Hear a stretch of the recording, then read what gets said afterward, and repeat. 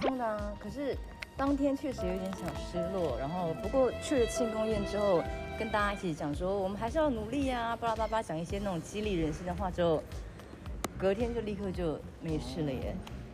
金钟结束之后，第一个遇到的女儿就是徐老三，然后我本来想说她会不会就是讲一些冷嘲热讽哎，然后我就坐上车之后我就说，宝贝，妈妈没得哎，她说我知道啊，我说嗯那你你你觉得呢？他说没什么啊，他说至少你穿的很漂亮，哎，然后我想说哦，这孩子还是有人性的，你要他讲好话就就是有点太勉强他了。他已经说至少你穿的还不错，就已经算是很终极的好话，然后没有说你怎么会没拿啊？这种就已经是我觉得很欣慰了。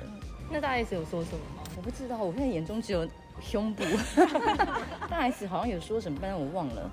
但我妈可能就会说：“宝贝，你在我们心中就是最棒的那类的废话。”大 S 真的是一说她是牛会太过分了、啊，她真的是一头不动的牛哎。就是虽然非常漂亮，可是她说不要就是不要。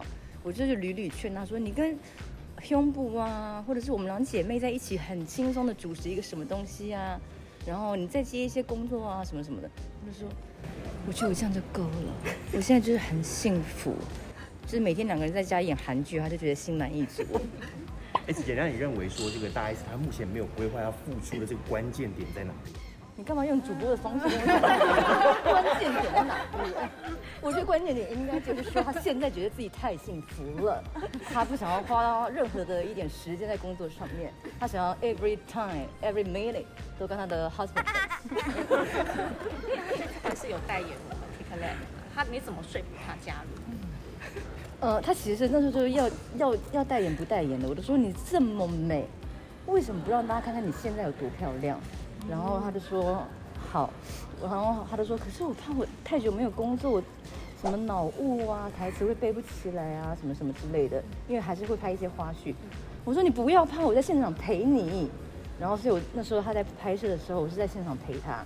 然后照片只要一出来，我就说 美美好美，然后一吼一吼一吼，吼到那个厂商在旁边就走过来说。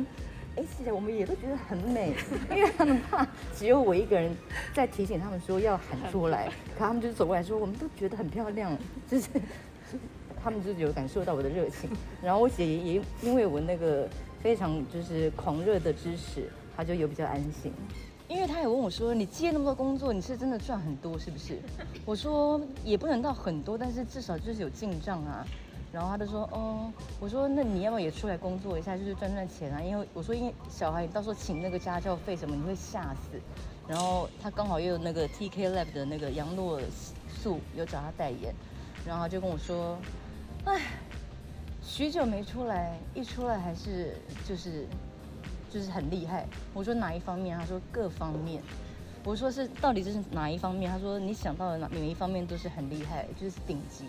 我想说他应该是给我那个吧。